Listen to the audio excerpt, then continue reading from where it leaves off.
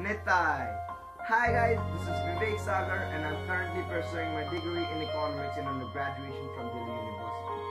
And I'm today here to talk about a problem that is very common amongst the teenager. Yes guys, I'm talking about stress management and anger issues. And today I'm here with a solution to it. Yeah, the name of the solution is Nitai Yoga. Yes guys, you heard me right. A human being goes through various stages in her life, out of which teenage is said to be the most unstable ages of all. I myself is in my teenage, and feelings such as depression, anger, hate, and love are very common along with mood swings amongst the teenagers. Yes, a very few of individuals can put control to their feelings and cope up with the day-to-day stress, but most of the people in this age lacks patience and are short-tempered and are not able to cope up with the problems.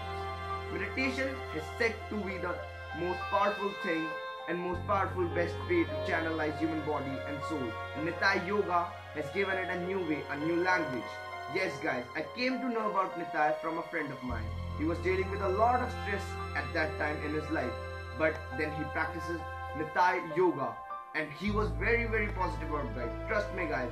He offered me Nitai Yoga Foundation group and I joined it.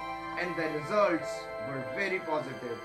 I would suggest Nitai Yoga to every person out there who's dealing with problems. I promise you guys, this will give you a lot of strength because if it can work for me, it can work for you too. Amen. Thank you.